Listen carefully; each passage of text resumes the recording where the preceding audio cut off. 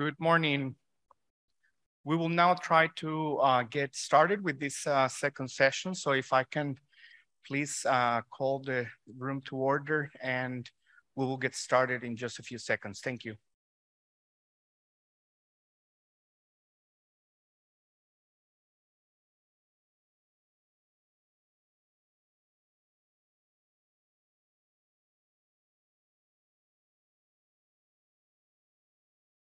Very well. Let's get uh, let's get started.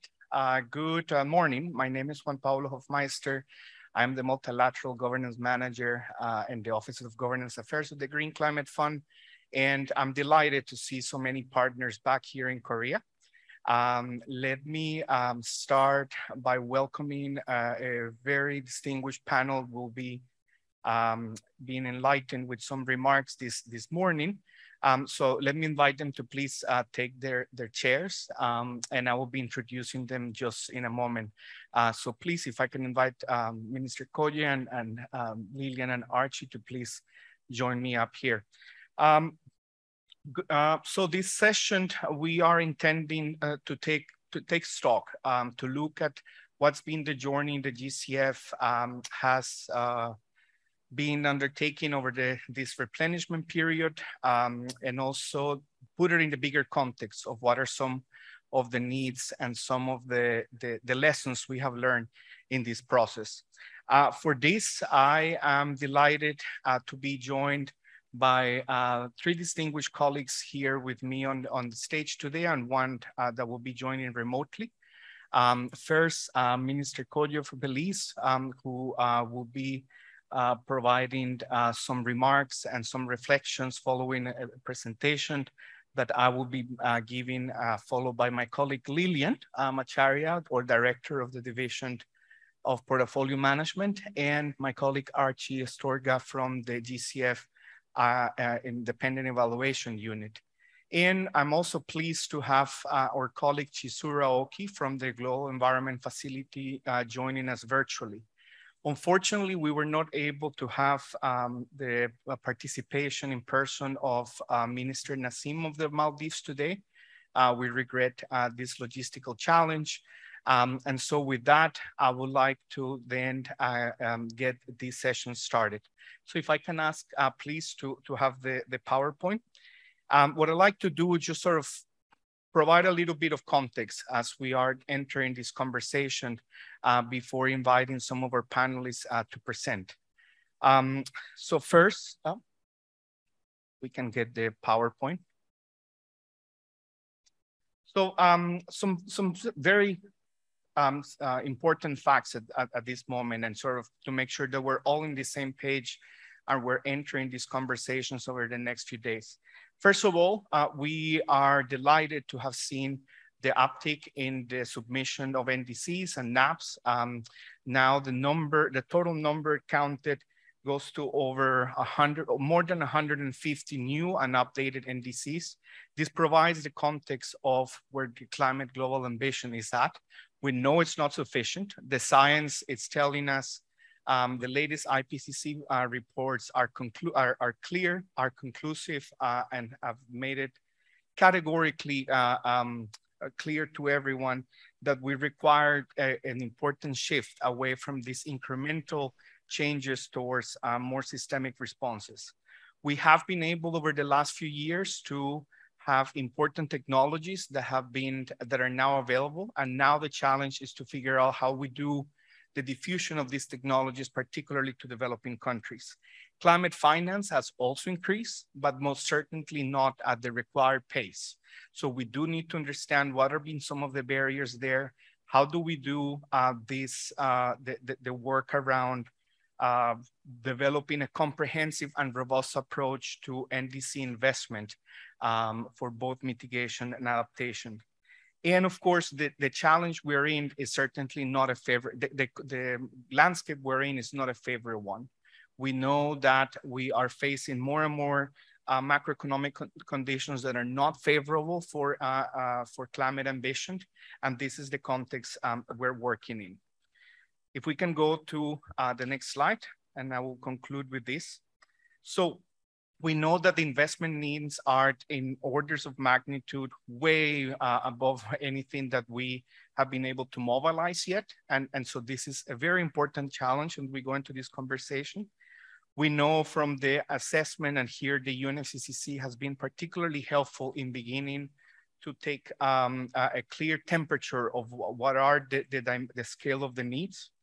Um, and we need we do need to understand these needs much better. We need we need to make a jump from from just understanding the needs towards what is actually uh, uh, solutions we can invest in and beginning to mobilize these resources that are required. And so this is already um, something that we, we are seeing uh, and that we, we will be discussing over the next few days, particularly in the context that the readiness uh, support can play in, in getting us to this point. And of course, the GCF pipeline already as it is, it's quite large. And we do know that um, the, the, resources uh, are, are simply not sufficient. So on one hand, we, we already have needs that are way above anything that we uh, can meet. And we do need to actually even further strengthen how we go about translating those needs into uh, bankable solutions. So I will stop there. And I will now like to invite my colleague, uh, Lillian, um, to provide an overview and um, some reflections um, specifically uh, for everyone to understand where the GCF currently stands in the implementation and delivering of results and uh, the impact for climate action. So with that, Lillian, over to you.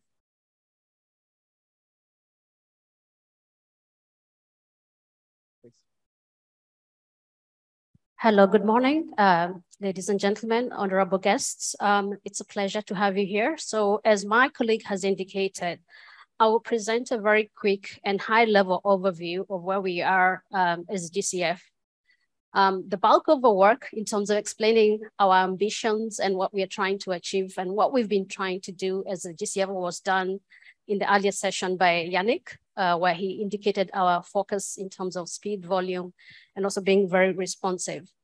But just to give you a, a quick view, um, if you go to the next slide, you might be aware that the GCF provides support to the target countries. Um, next slide, please. Um, through two windows. Um, one of them being the readiness support program, and that's meant to help countries in terms of building their capacity, the adaptation planning, generating a pipeline for funding.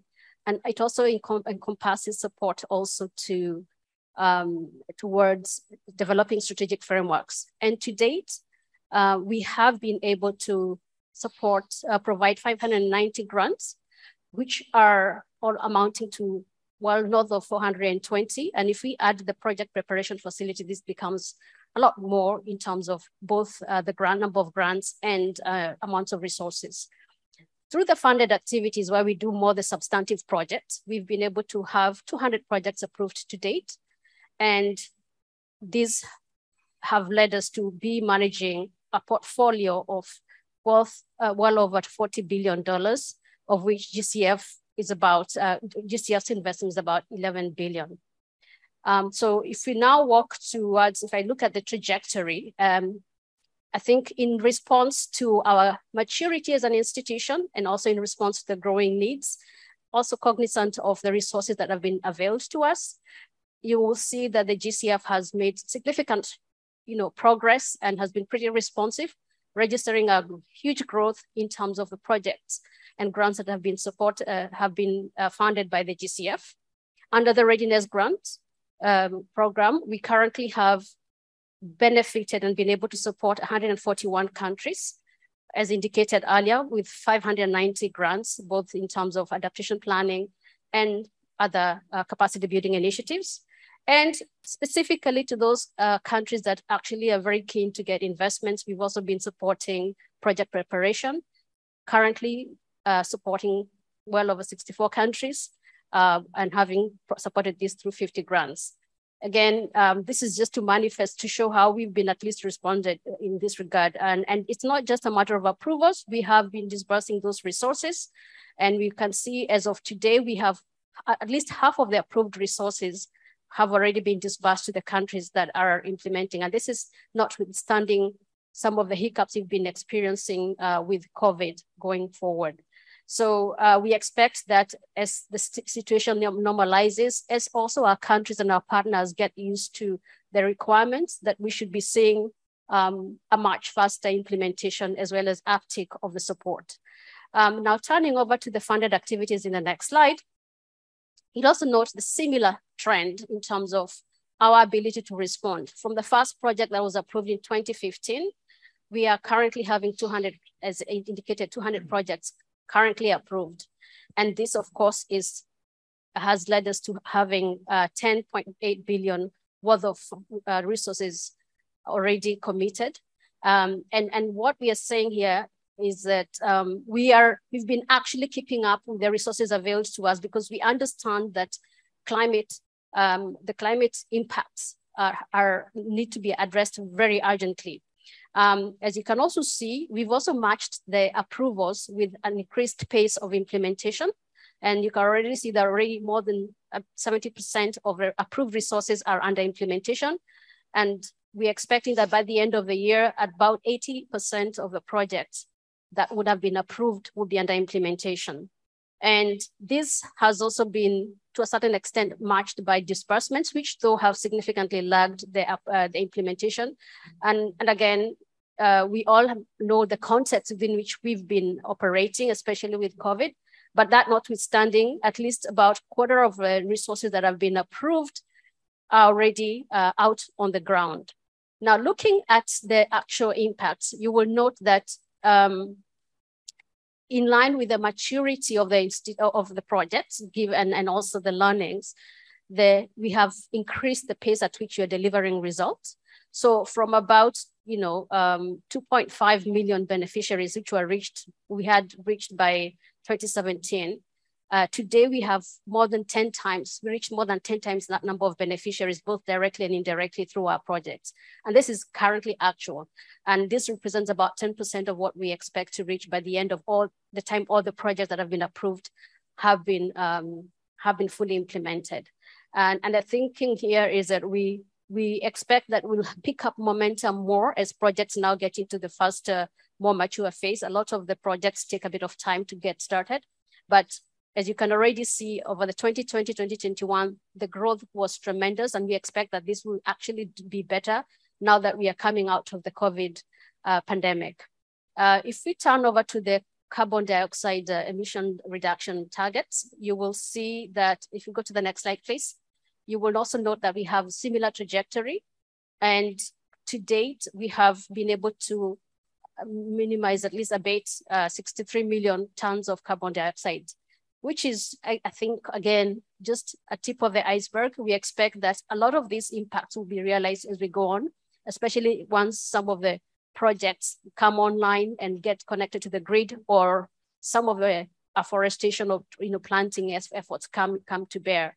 But I think the point here is to just note the very encouraging trend in terms of results delivery, notwithstanding the very difficult phase that which we've come out of.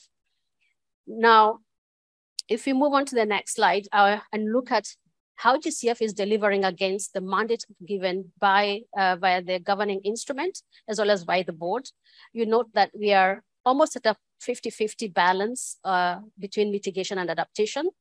Uh, in terms of volume, slightly more towards leaning towards mitigation by 1%. But if you look at the number of projects, a lot of the projects that we have approved are largely in the um, adaptation under the adaptation theme, which is just speaks to the size of projects vis-a-vis -vis the amounts. Um, now, again, looking at the beneficiaries, we have continued to deliver on um, reaching, increasing the number of beneficiaries we're looking at. And the GCF1, we are slightly below the previous uh, initial resource mobilization, but we expect that with the new approvals coming online that the expected beneficiaries will probably match or exceed the, the previous, um, previous targets, the baseline. Uh, we have exceeded already uh, our expected targets on, on carbon emission reductions. Now, one of the areas that we've done extremely well and continue to do so is our support, uh, our uh, the amount of adaptation funding that is directed towards the vulnerable countries. Um, as per the targets, we are supposed to deliver at least 50 of the, the adaptation funding resources to uh, small island development states, least developed countries, and African states. Um, but as of today, we are well above that target at 65%. And this is pretty much uh, also in line with what we had in the initial resource mobilization period. And even looking at the pipeline, we expect that we shall still continue to trend above the 50% um, threshold that we had been set for. Our support to the direct accredited entities is also increasing. And I think this is in, in, in real uh, response to the calls for en enhancing capacity at local levels and ensuring that we are helping countries that also foster uh, the ownership of the climate efforts. And as you can see, we've already exceeded the benchmark that was there at the beginning of the initial resource mobilization at GCF1, and we expect that this will go, as you can already see that the pipeline is also trending well above uh, the current, the current, um, the current status. In terms of support to private sector, um, we are slightly below the initial um, resource mobilization targets, but we still pretty much within the same bandwidth. And again, we expect that with the upcoming um, approvals before the GCF1 is over, we should be able to match or exceed, um, exceed the, the baseline target. And as you can also see in the pipeline, these figures again are trending upwards. So all in all, I think you might see that uh, GCF is really continuing to deliver against and beyond the targets set. And if you also look at our leveraging factor, we have been able to leverage at least 3.3 more, three more, uh, at least three times what we have been invested, the kind of, uh, the amount of money that has been invested in us. And private sector, as, as expected, has slightly more uh, leverage that it's able to bring on online. And we expect that with the, um, with the adoption of the private sector strategy, we shall do a lot more in this area and of course, reach even more of the private sector and help leverage the much needed resources towards climate ambition. So in terms of lessons learned, um, and I'll just talk about very high levels, but I think with the growth of a portfolio, we've noted the need to have strong and digitized systems that enhance both the efficiency and also help us be more transparent about how the, the fund is operating. So we are rolling out quite a number of initiatives to help our partners be able to submit their requests online and help us also be able to respond very quickly. Um, together with that, we've also strengthened our results management systems so that our we are able to measure and align our efforts to make sure that we are delivering the maximum you know, possible results with the resources avail available to us, and that those results are collected in a credible manner and also available on a, on a real-time basis. And having those systems also help us make, make the corrective actions to make sure that we are delivering on the mandate that we are given. And to couple that and to sort of underscore that, we have then strengthened our data management systems. We think these are very important so that uh, we, are, we are able to be more responsive to the needs. We can see where the issues are and we manage risks proactively and also make sure that we are performing in line with expectations. And having those data systems also helps us have better transparency um, and also make sure that we can harness the insights from both the implementation and uh, the trends that we are seeing to improve on our delivery, as well as also share those lessons with our partners so that all of us become you know, better from the experience that we have. So quickly moving on to the final, um, final slide. I think then just to kind of underline what we have done from those lessons is, of course, as I indicated, we are strengthening our risk management and data management systems. We are also increasing our digitization to improve efficiencies and transparency. We've strengthened, strengthened our results management and rolled out guidance so that it's easier to make sure that everybody knows the expectations. And we also have guide support to make sure that they can meet those expectations. And we are strengthening our knowledge management, including the launch of an online data library, which should help every stakeholder to be able to go online and query and see what kind of support is GCF giving maybe to my region, to a certain sector, to certain types of institutions. Uh, we also coming up with a readiness knowledge bank, which will be a, for a platform that will enable you know, the different partners to access knowledge and information on what's working or not working in different areas, and also use that to sort of, you know, showcase the, the what's work, you know, the best efforts and what the impacts that we're being able to get. And we are strengthening our learning loops both internally as well as with our partners so that we, we create a virtuous cycle of improvements. And with that, I think I'll stop and uh, hand over to Juan. Thank you. Thank you very much, Lillian. And uh, in, this is indeed going to be a conversation over the next few days. Um, and, and, your insights uh, are very helpful to, to understand the big picture. Uh, before I invite uh, His Excellency uh, Minister uh, Christopher Coya to, to share a few reflections, um, I actually we also want to hear from you. Um, and we will be collecting some feedback using the Menti app. So if we can put uh, the slide on the screen so that people can um, provide some insights on what you see as priority gaps. And we will be coming back to uh, this at the end of the session. So with this, um, I'd like to invite um, Minister Koya to please, of Belize, to please uh, come join us for uh, some reflections uh, on the ref on the journey that, that Belize has taken and your experience, of course, working uh, with GCF, but also um, your reflections on uh, the importance of uh, mobilizing other partners, working, uh, working with others, including some of our fellow climate funds. Um, so with that, um, I'd like to invite you to come to the podium, Minister.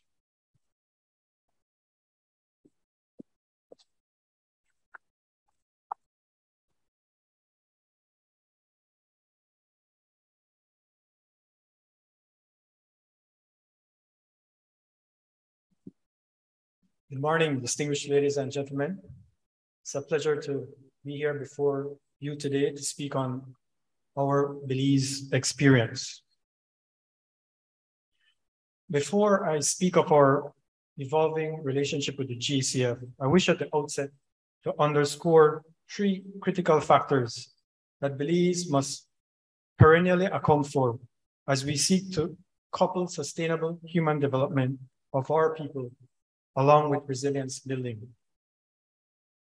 We are small, we are vulnerable, amongst the most vulnerable in the world, and we face compounding risks and cumulative impacts from past, present, and anticipated global threats, climate and otherwise. These factors have resulted in three other overriding concerns that stunt our development and climate resilience building. We are high risk, we're highly indebted, and we are facing increasingly limited fiscal space. It is through these lens that we share our experiences with GCF today. Our experience with the GCF has evolved over the years. As vulnerable as we are to climate change and extreme weather events, we look forward to material mobilization of climate finance for our resilience building. We see GCF as a key partner in this effort. Unfortunately, time passes, and while the will is there, tangible results are slow in coming. Initially, the focus of the relationship with GCF has been on building resilience and capacity for climate finance. While this has progressed, we only have one national GCF accredited entity today, which is limited in scope to micro projects not exceeding $10 million. Applications for accreditation for additional entities, primarily public sector entities, have moved forward at a snail's pace, in one instance already exceeding three years. This reality has no doubt influenced the involvement of GCF funds in climate resiliency projects in Belize. At present, we really only have one project in implementation. That is the Resilient Rural Belize or the Be Resilient program. This program is a $20 million program of which $8 million is funded by the GCF through a contribution of 6 million in grants and 2 million in concessionary loan. The balance includes counterpart financing from the International Fund for Agricultural Development, IFAD, our implementing partner for this program, and counterpart contributions from the government of Belize and beneficiary farmers and cooperatives. The Be Resilient program aims to introduce climate resilient agricultural practices in 23 rural communities, more than 12% of all rural, rural communities in Belize, to allow small farmers to increase production and improve market access. The bulk of the disbursements will be for roughly 30 miles of improved rural road networks and storage facilities for farmers. In addition, the program provides home gardening resilience training and small grants to low-income individuals, most of whom are women and youth, to undertake the establishment of backyard or community gardens. The program also provides matching grant funds, investments to farmer cooperatives in all six districts in Belize to pay for supplies and equipment, improved immigration, irrigation facilities, storage facilities, construction and land preparation. It is intended that 30,000 persons or almost 15% of our rural population will benefit from this program. While the project is in its fourth year of implementation, implementation only substantively commenced last year and has since been progressing at a brisk pace. As a result, roughly 1% of GCF funds have to date been utilized in implementation of this project. To date, of roughly $5.5 million of GCF dispersed funds to Belize programs not just the RRB program, more than 95% has been sent, spent on consultancies and reports for readiness instead of actual resilience building.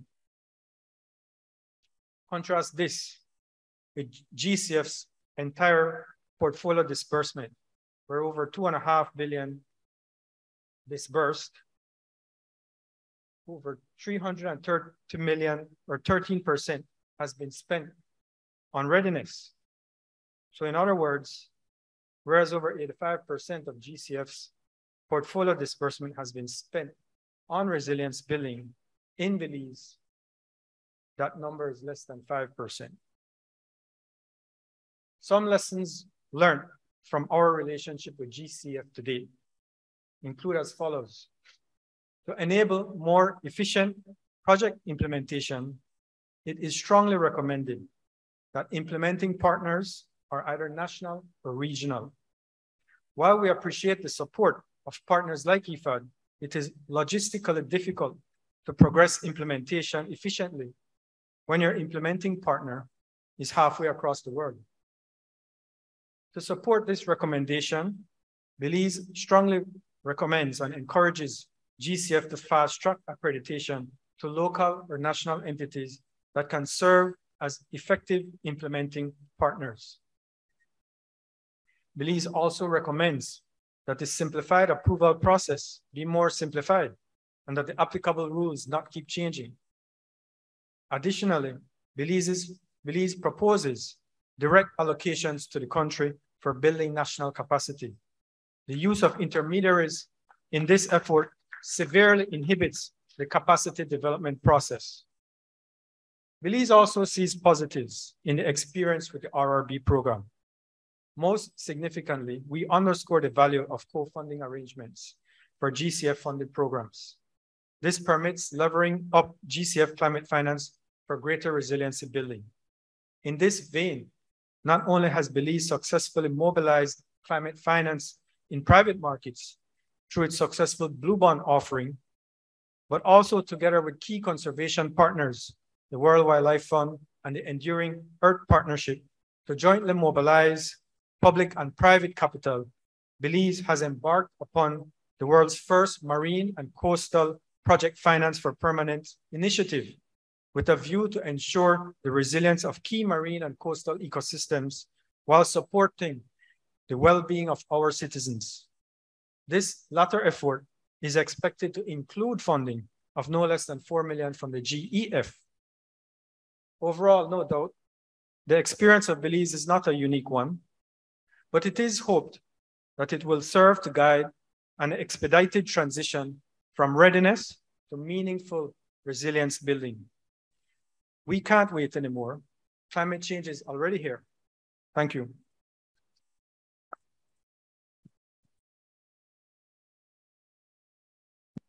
Uh, thank you very much, Minister. Your perspective is indeed quite sobering and, and it helps us put in context uh, this, uh, this challenge we're, we're all in. Um, uh, we certainly are not shy of understanding and working with you in how we address some of these, these uh, shortcomings. Um, I think that your recommendations on efficiency um, are, are well received and something that uh, it's precisely some of the improvements that we hope to discuss during this session, uh, this next few days, um, as we go into developing the strategy for what will be the next trust fund. So uh, let me thank you. I know you probably will need to leave in a few minutes, so that's well understood, but uh, thank you very much.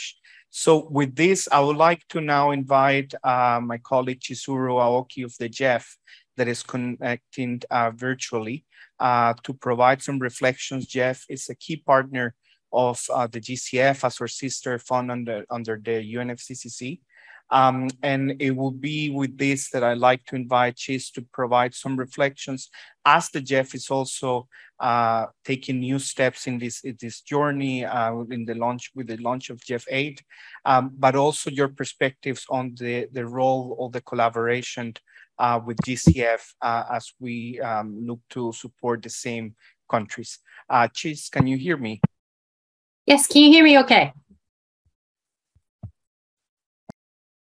Can you hear me?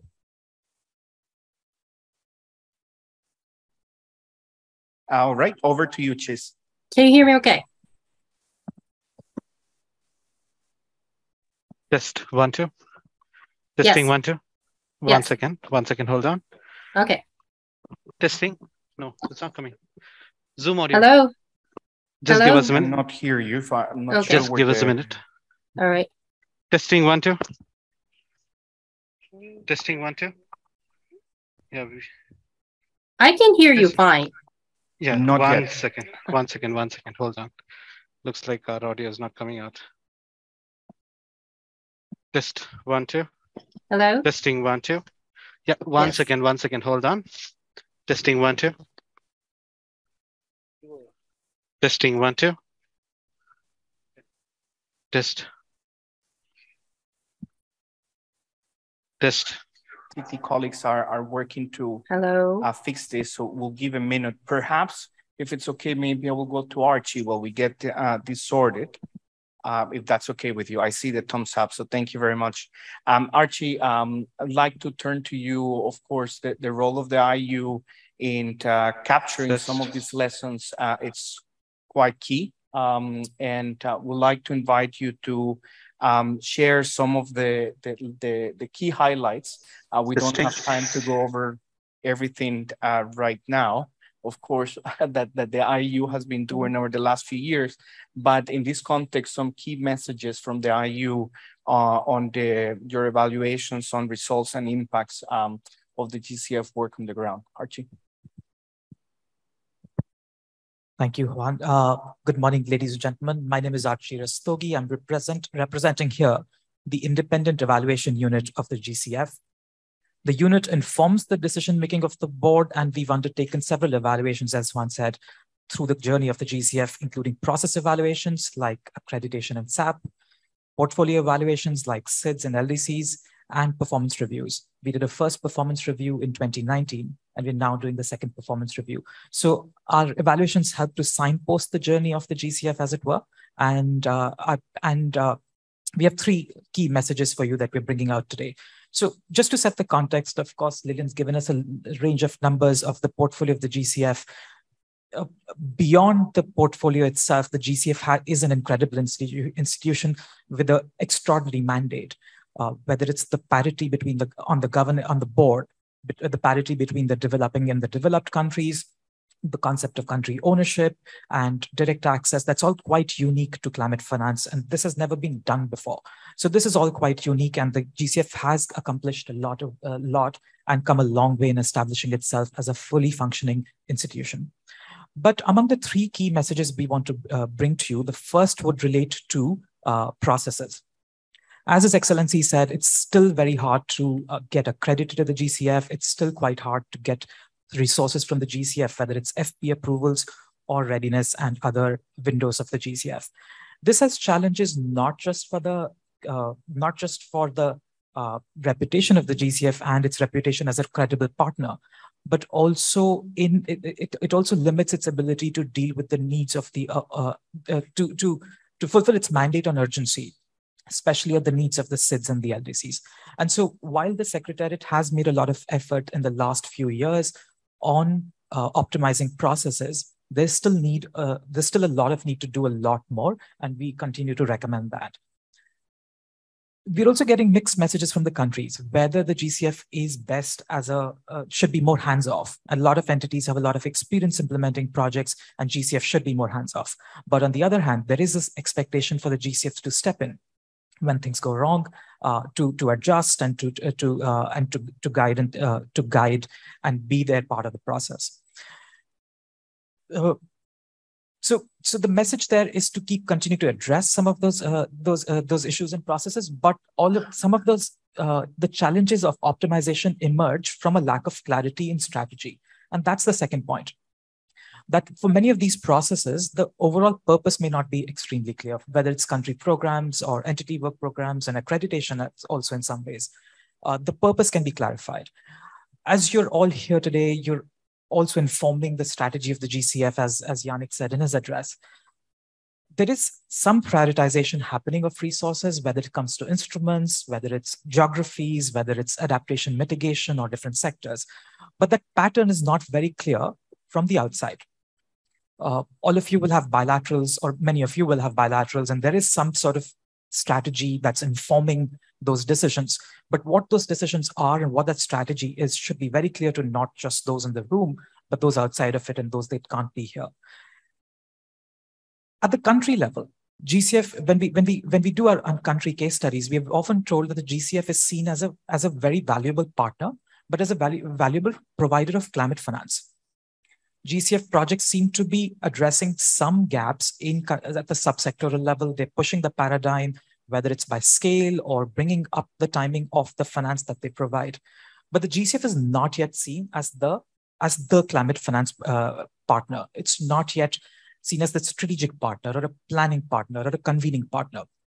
So that's the other thing we're, we're asking you to do. As you do, as you as you go about doing the the next few days as you're thinking about programming for the GCF to think about that uh, that role quite clearly, the role that the GCF should play in the climate finance architecture of the world and at the national level, so that the GCF is not just filling gaps in programming for countries and entities, but it is in fact addressing some of the most urgent needs the, uh, for the countries, and that's that's the other message. Uh, and the final message that I want to bring to you uh, would be related to risks as Lillian said, a lot of the projects are under implementation. A lot of experience is emerging. But some of that evidence is still limited. We only have access to, for instance, only about 15 midterm evaluations so far from the very large portfolio of the GCF. But what's emerging from that, uh, from the analysis of some of that portfolio is that more attention can be paid to risk management. And Lillian referred to the efforts by the Secretariat on addressing gaps in the risk management frameworks. But some of those challenges can be addressed pr- uh, proactively. And that aligns as well very well with what Lillian said in the design of the projects. So as you go, as you're as you're thinking of projects and programming for the GCF in the short term and the medium term future, that's yet another thing to think about is how to address risks proactively. This may even actually help address some of the timing issues and some of the process issues that emerge during implementation of GCF projects later. So those three messages uh, addressing uh, process efficiency, clarifying this, the, the GCF's role at the country level and at the world at the uh, global level, and then building for risks as you design projects and programs. Thank you. Thank you uh, very much, Archi. That, that's uh, very succinct uh, recommendations and, and questions actually really for, for all of you um, as we're embarking these conversations over the next few days. It's clear that the GCF cannot be everything at all the time, everywhere. Uh, there needs to be clarification and prioritization in order to better assist uh, our partners. Um, so thank you very much, Archi. I would now like to turn back to Chizuru, hoping that this time uh, we can hear her. Uh, Chiz, you... Can you hear me? Yes, perfect. Thank you. Over to you. Excellent. Thank you very much, uh, Juan, and good morning, colleagues. And thank you for inviting me to participate um, on this um, panel that has so far been very insightful. Um, you know, I was actually scheduled to go to um, Korea to attend this meeting in person, but um, I had to cancel my trip due to uh, a very sudden and tragic death of my um, boss 10 days ago. So we're kind of still in shock and a crisis mode. And I very much appreciate the uh, consideration extended by the GCF colleagues for me to participate remotely. So let me share two reasons why we think it's important for the, the two entities, the GEF and GCF, to work together. Because the question that's posed to me is about really sharing the views on the importance of complementarity and coherence.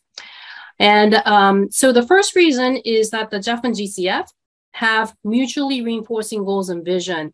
And we know that the, the two institutions share the role of supporting the implementation of the Paris Agreement and the UNFCCC.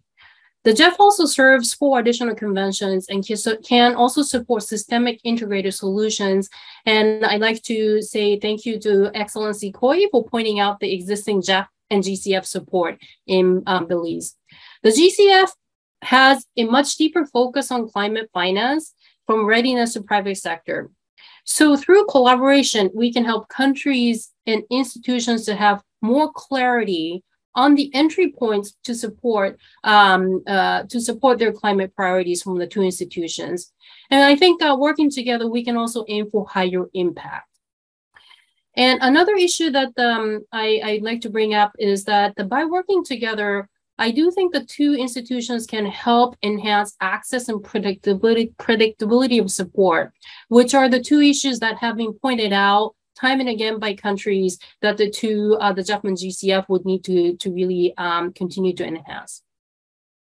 And um, as a matter of fact, the, the GEF and GCF have received guidance from the COP on enhancing complementarity as well as coherence. So the countries are asking us to work together and we're happy to be working together. Now, the second reason why uh, we know it's important for the two entities to work together, and arguably more urgent reason, it has to do with the scarcity of multilateral climate finance, particularly through the financial mechanism.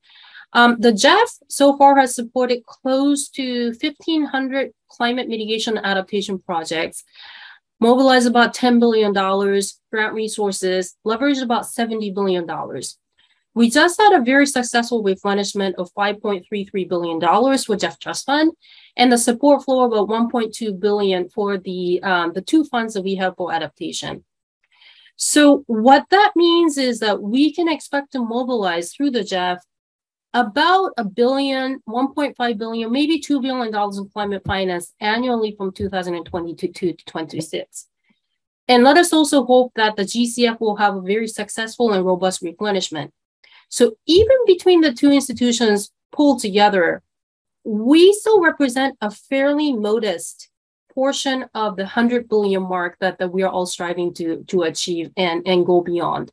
So what this means is that the um, aligning priorities and major initiatives between the GEF and GCF and working to leverage additional support from all sources, we think is extremely important. So this is um, um, these are the reasons, as well as building on our history of working together. We have what's called the LTV. The LTV stands for the long-term vision on complementarity, coherence, and collaboration. It's basically a roadmap for the GEF and GCF to work together. And I think it's fair to say we have come a long way, and our current collaboration is very solid, forward-looking, and the full engagement of the respective heads of the GEF and GCF, Yannick, as well as my CEO, uh, Carlos Manuel Rodriguez. And um, the, the LTV has also been presented to the GEF Council as well as the GCF board. So this actually defines specific areas of cooperation where complementary action might be more or most efficient and effective.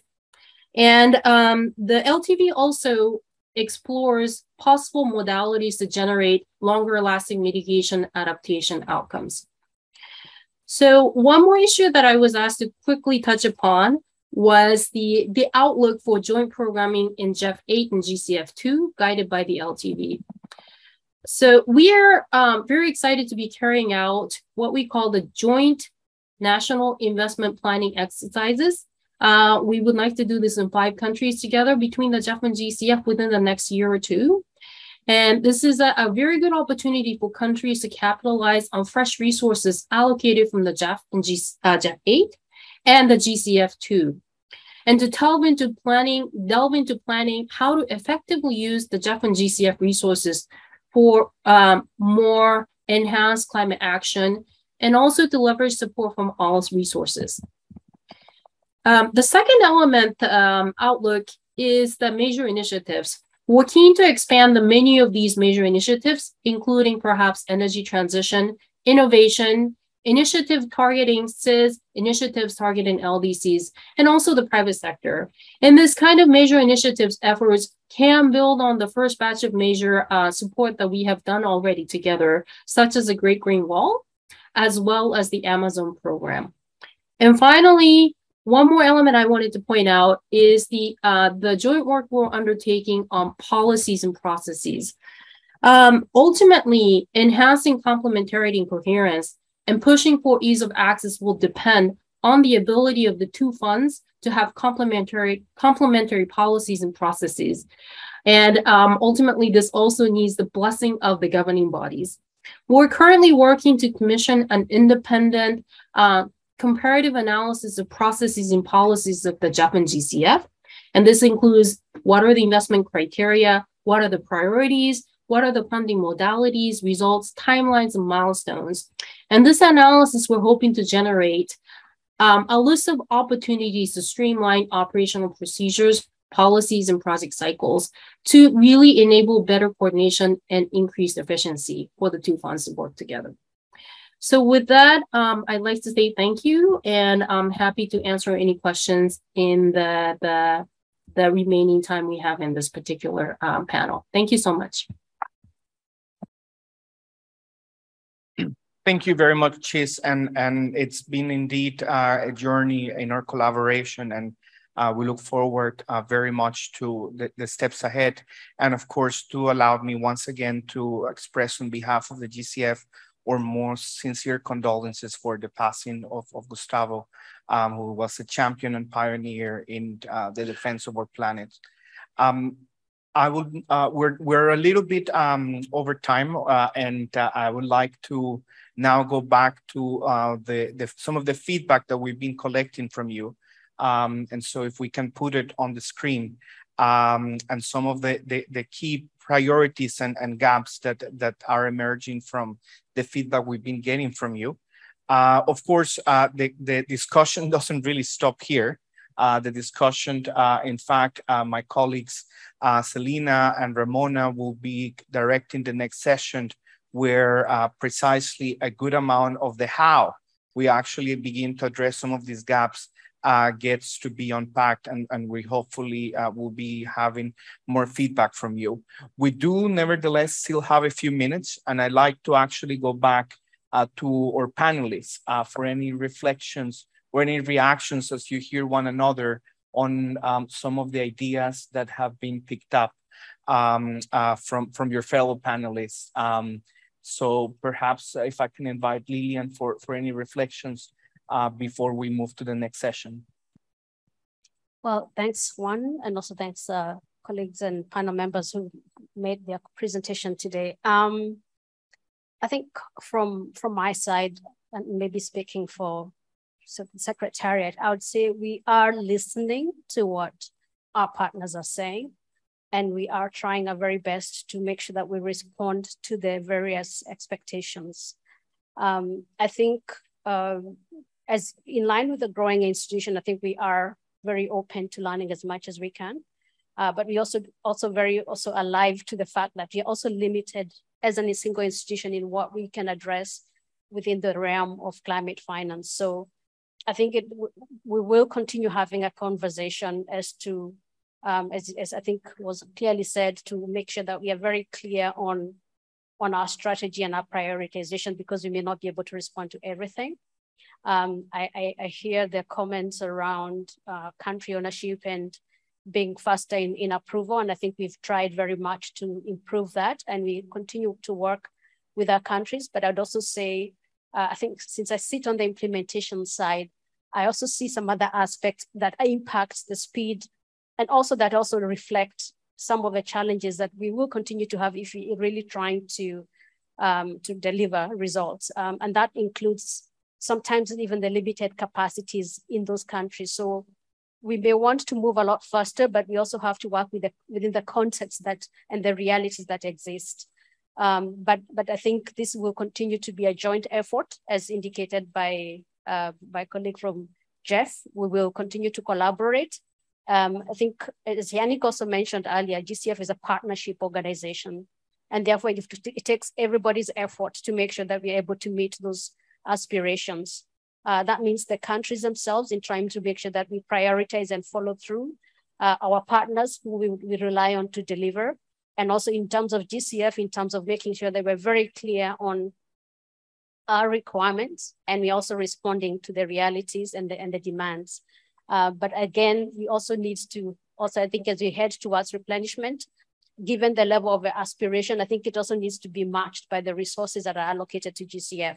So I think we're also counting on all our partners also and contributors to step up to meet the urgency of the demands and also to help us be able to have in place the capacity to respond to the diverse needs of, of the country. So I would just say that we hear you, uh, but we and we look forward to continuing this conversation. Thank you.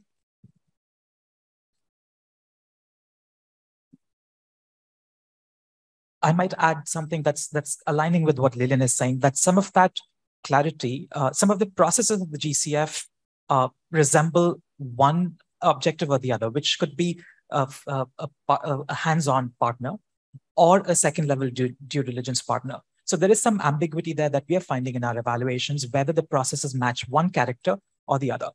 And I think what we're asking for is also, as you go about drafting this USP and the next session, is dedicated to the strategy of the GCF to make that character quite clear, whether the GCF intends to be the hands-on partner or it intends to be the second level due diligence partner, leaving the uh, due diligence to partners in the countries. While the direction of travel for the GCF is quite clear, no one would argue against building resilience and, uh, and addressing climate impacts. It's the quality of travel that's quite important. Who comes along on the journey? Uh, at what speed do we travel? Does everyone travel together? Are we okay with uh, with uh, taking different actors at different speeds, etc.? So that still remains to be addressed, and we've come quite a long way in the last uh, ten odd years to to clarify many parts of this travel, but not yet the complete uh, the complete uh, clarity. And realism again. while the GCF has the mandate of a superhero, but there are many Marvel movies that actually uh, that, whose revenue is far higher than the portfolio of the GCF. So that realism is quite important in what the resources available are at hand and what the mandate is. And yet, this institution has to work because a the urgency of the of climate uh, cl climate is uh, is I don't need to mention about anything about that, but also to prevent the fragmentation of climate finance. There's only limited public sector climate finance available. And for, for that, this institution has to work at an optimum level and deliver that uh, impact, uh, deliver climate finance uh, to address the urgent needs of developing countries. Thank you. Uh, thank you, Archi. And, and perhaps it is time to consider the option of the GCF Avengers movie um, so that we can uh, mobilize further resources then. Uh, Chiz, uh, anything you like to add? Um, and by the way, um, Excellency Minister Koyo had to go to um, a meeting, so he's he's left the podium. But uh, anything from any closing thoughts from you, Chiz?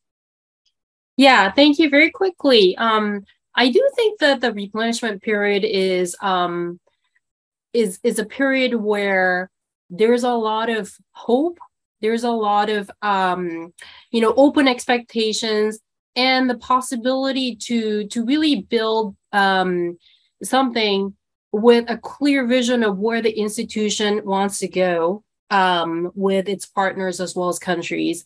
So um, I, I, do think it's it's a it's a great um, juncture for the GCF to to be embarking on the the second replenishment and this uh, conversation we're having. And I, I I do have to say that I, I do think that the what I've heard so far, the GCF colleagues are being an, a little bit modest. I think you have done a lot of great work obviously the journey continues and um, the direction quality speed and and um, as well as the the destination of journey is very important.